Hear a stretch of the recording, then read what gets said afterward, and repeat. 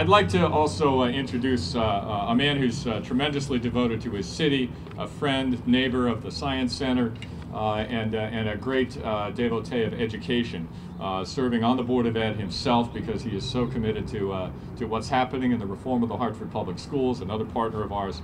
So it's a pleasure to introduce Mayor Pedro Segarra to help us welcome this new reason to be in Hartford and enjoy the heck out of it. Thank you so much, and thank you for being here. Uh, I think one of the best things about the Science Center, Connecticut Science Center, is that we are really trying to promote uh, the learning of science amongst our youth. And uh, there's no better way, there's no better way to bring science alive for our youth as it is through these demonstrative exhibits.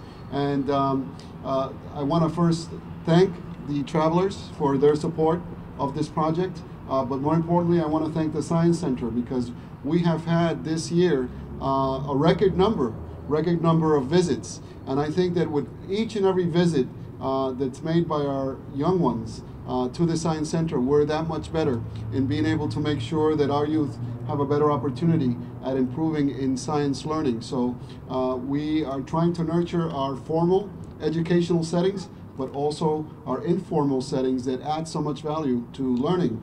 And um, where was Sheila three months ago when I started to attack the budget deficit? she could have helped me out eat a lot quicker.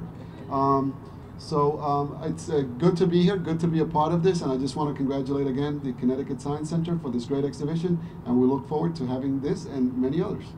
Thank you, Thank you, Mayor Segarra. Sheila is not one of the carnivorous dinosaur types, so if you're going to cast for budget purposes, uh, the team at the Science Center can help you Well, we get the appropriate species. We'll give you some compost. Compost, she's got plenty of that, let me tell you. Uh, very well said. Well, uh, the mayor put it well when he talked about uh, the fact that we're also about attracting people to an enjoyable educational experience that day in and day out is about thrills, but educational thrills.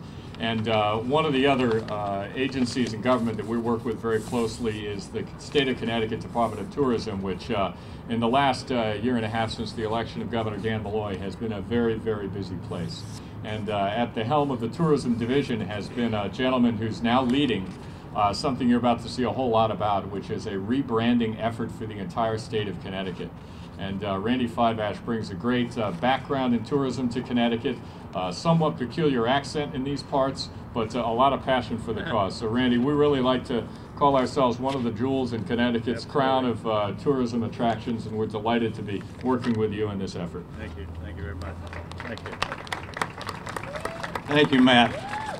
You know, as I begin to talk, I don't know what he's talking about, about not being, not, of having a different kind of uh, accent. Yeah, I try to convince people, Mr. Mayor, that I am uh, from southern Connecticut, but nobody's buying it yet. I'm from the South too. Are you, there you go. Well, see, there you go. Can't get any further south in Puerto Rico. I know. well, I'm, I'm right in the middle of that. I'm, I'm originally from Georgia, so we're, uh, we're kindred spirits then.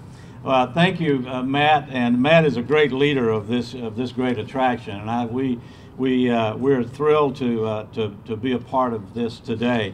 Uh, we thank you, uh, Mr. Mayor, for being a, a great friend of tourism, uh, not only in, here in, in the Hartford area, but on a statewide basis as well. And we're, you, you're a great leader in, in our efforts, and we appreciate you very much.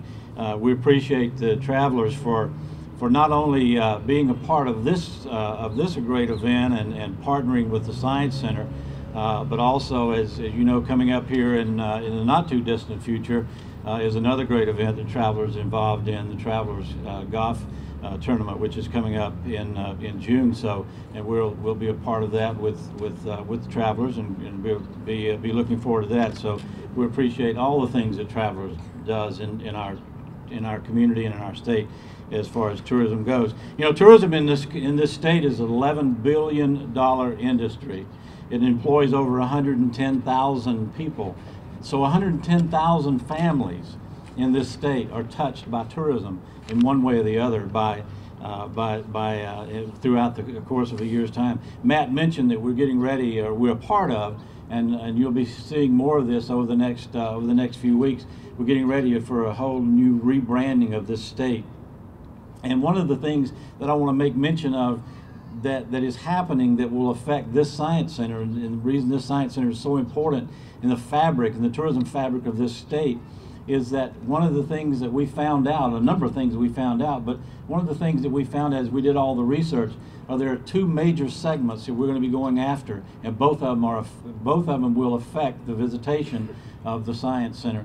And there's a group there's a group that's called Drive and Discover the group of in, in, the research, and those are the the people who uh, who love local history. They love to learn something, obviously.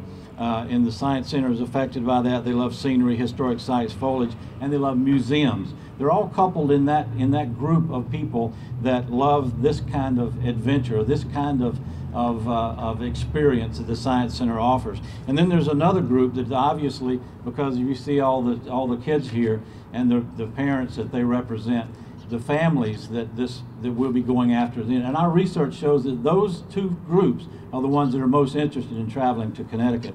And so as we move forward with our rebranding and we move forward with the tourism efforts that that, that Governor Malloy and, and the tourism industry, uh, the, the legislature has, has uh, fortunately given us uh, the dollars to, to put forward with the tourism industry coming up in the next two years we'll be going after. So I congratulate the, the Science Center on this great effort. Uh, thank you uh, again, Mr. Mayor. Thank you to the travelers for making this, uh, this effort possible. So thank you, Matt. Thank you, Randy. And now I would like to invite Rita Ortiz from Community Relations and Travelers to say a few words about Travelers' uh, continuing work here in Hartford. She's going to be very, very shy on me here. Uh, but she's such an excellent representative. I could, uh, I could uh, press you to say a few words or say just start her up. What would you prefer? Uh, let me just say. okay, thank you. Okay, so Matt put me on the spot. Um, thank you all for coming out. I really appreciate it. Um, Travelers is very excited to be the lead sponsor of the museum, our number one focus area in education. So it really was a match for us. Our neighbor, so how could we say no? that isn't an open door for future requests, but thank you so much, and let's get her started.